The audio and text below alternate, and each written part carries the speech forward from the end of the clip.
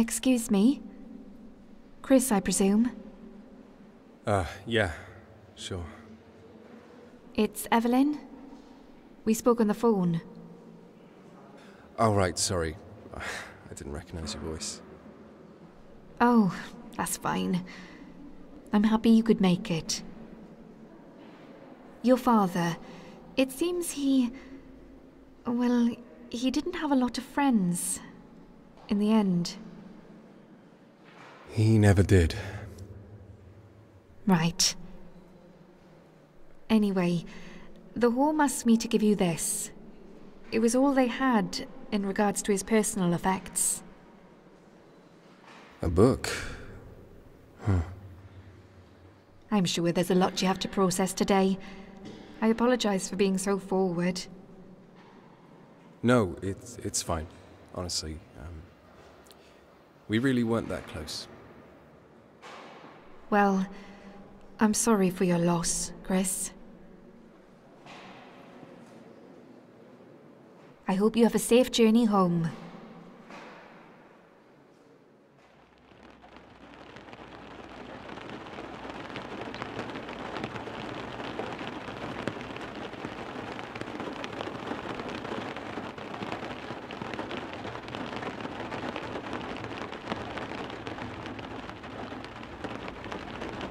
To whom it may concern.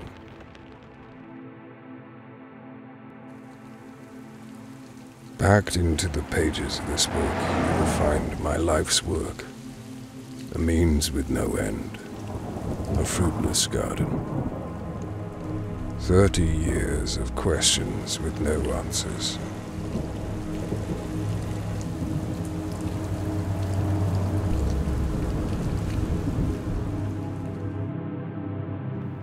Like my own hollow ambitions, some things never come to fruition.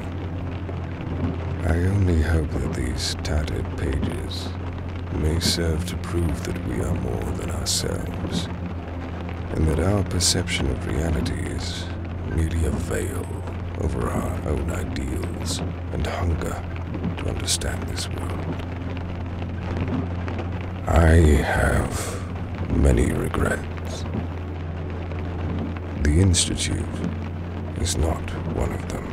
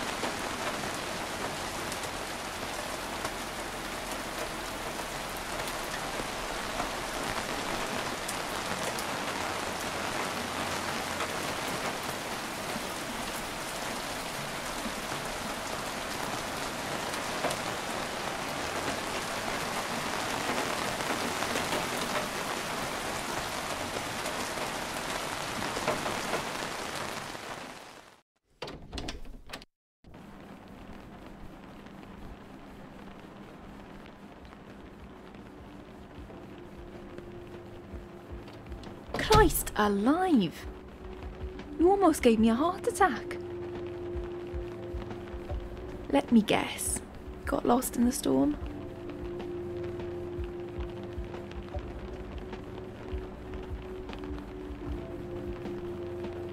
You know, conversation is normally a two way thing. Sorry to barge in. Uh, you're still open, right? Kitchen's closed, but we have all the coffee you could want. You don't sound like you're from around here. No. I mean, I used to be. Long time ago. Where are you headed anyway?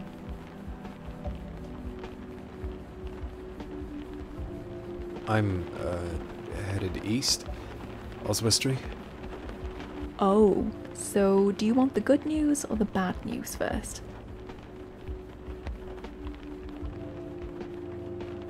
Uh, well, obviously I'm going to take the good news first. Well, you're on the right road. We'll be headed that way myself soon. Bad news is it's about half an hour back that way. Hang about and I'll show you the way, if I can bum a lift. sure. Uh, to be honest, I could do with the company. Wasn't looking forward to cycling in this rain anyway. Nothing creepy though. I'll kick your ass if you try anything. Hey, I'm just relieved to be off that road. Where are we, anyway? Welcome to the Last Stop Cafe. Best coffee this side of the A5. Don't get a lot of customers these days though.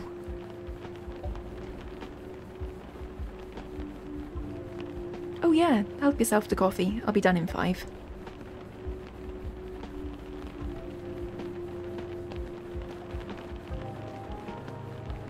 So I never caught your name. Oh, it's Chris. Chris. Right. Nice and simple. Yeah. It was my dad's name. My grandfather, too. My parents weren't exactly ones to break tradition. Well, it's nice to meet you, Chris. I'm Anera. I used to know someone called Anera. It means winter, right? Close. Winter is Gaeaf. Anera translates to snow. Oh, my Welsh is a little rusty. Hey, I'm impressed. Most English folk can't even read the road signs. Well, neither can I, apparently. So what brings you to this neck of the woods? I. Um. Well, I buried my dad today. Oh shit. I'm so Ah, it's fine. We didn't uh, exactly see eye to eye. Yeah, my dad left when I was six. Turned up ten years later wanting to play Happy Family. I still get calls from him. Not that I ever answer. Family, eh? Oh, could you deal with that? Just mess with the dial until it finds a signal again.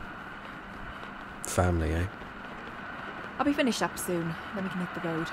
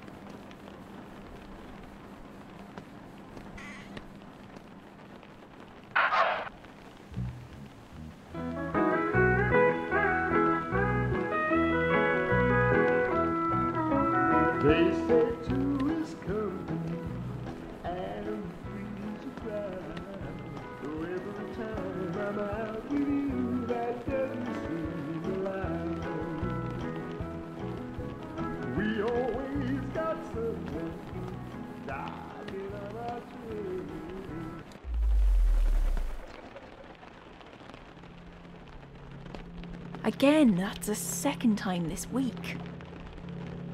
Hold on, I've got a lighter here somewhere.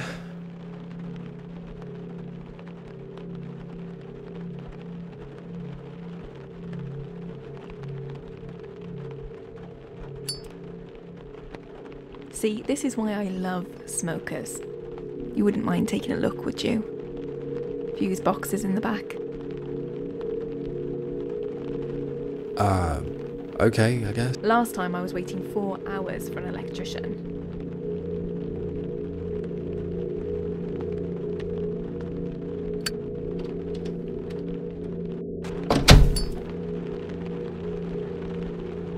So, what am I looking for here?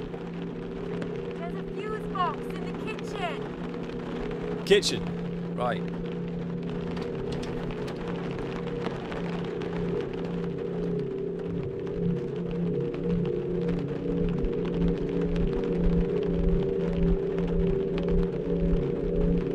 Hey, Naira, a bunch of these fuses are fried. Should be some spares in there somewhere.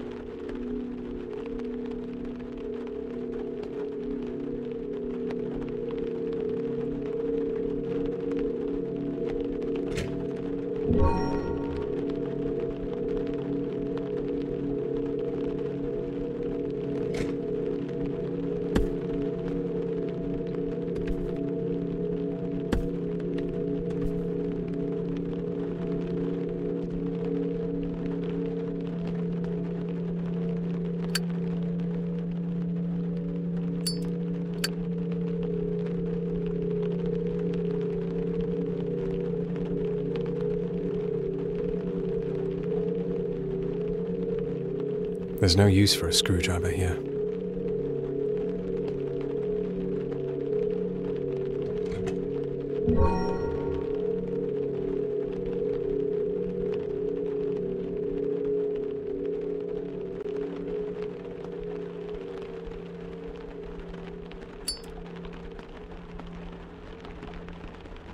And the fuse is dead.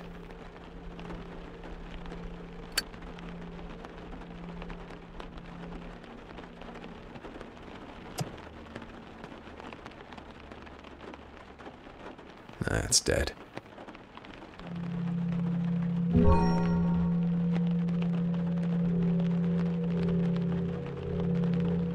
Dead.